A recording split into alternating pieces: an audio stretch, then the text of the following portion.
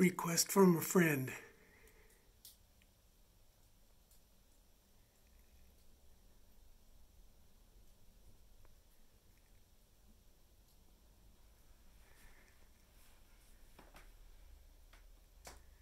Founded in tradition.